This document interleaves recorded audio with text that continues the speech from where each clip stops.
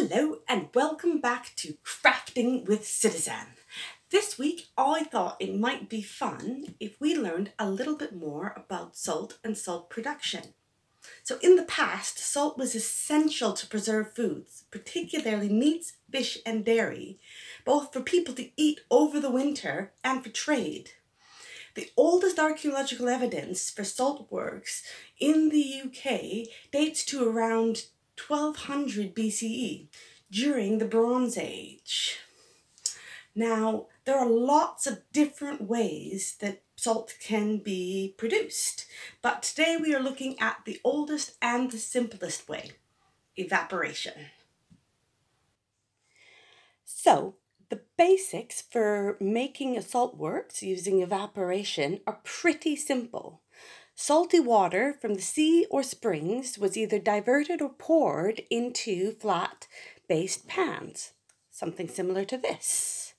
Now today we are going to make salty water using one tablespoon of regular table salt and about 250 milliliters of warm water. So you just pour that in like that, take your spoon and give it a good stir to make sure that it's fully dissolved. Now, if you happen to live near the ocean or salty springs, you are in luck. You can just go out and get some water from that. Now, historically, the water would have been left to evaporate until it was a concentrated salt brine. And we are going to do the same today pour your water into the container.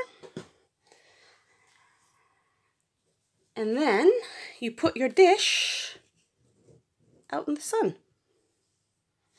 Now, because it's summer, if we leave our dish on a sunny windowsill for about eight hours or so, it will evaporate and leave us with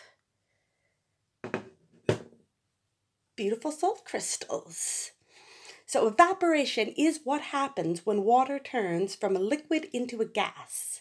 So the same thing happens in the summer when you go swimming in the ocean.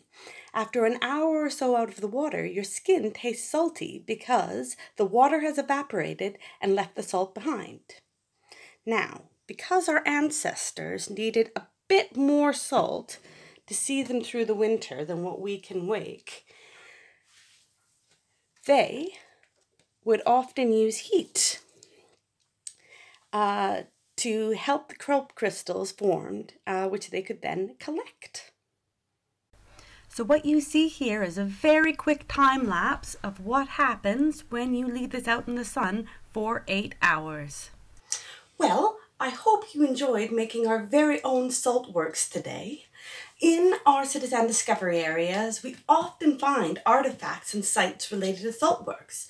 This is because we work in the intertidal zone, which is the area around the coast that's sometimes land and sometimes sea. And that's the perfect place for saltworks to uh, exist. Uh, we find ceramic pots, we find salt pans, hearths and ovens. Well-known sites include the Red Hills of Essex, uh, which get their distinctive colour because of broken fragments of baked clay, kind of like this. And we also get sites around Ingoldmells, uh, Lincolnshire, uh, which is right next to a Butlins holiday park, so some of you have probably been there. If you are local to Chichester, check out the links below this video for a downloadable map of our Chichester Harbour Heritage Trail, which features a whole bunch of salt works. Now, I hope you had fun this week doing a little bit of science. There are lots more activities on the Young Archaeologists Club website. And next week, I thought that we might try our hands at drawing boats. Now, don't worry if you can't draw. Neither can I but I've come up with a cunning plan for us to all be drawing boats by the end of the day.